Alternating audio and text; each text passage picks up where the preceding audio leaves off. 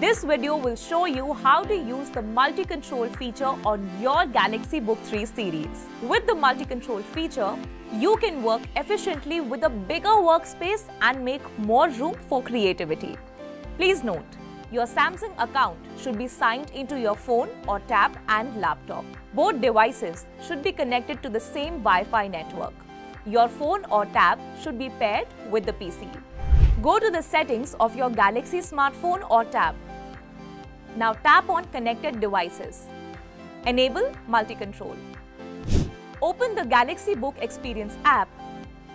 Now tap on Multi-Control. Tap Open. Select the available device to link. Now drag the device to rearrange them.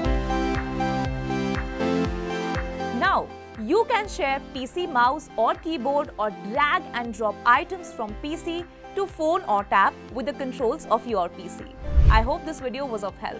Thank you for watching.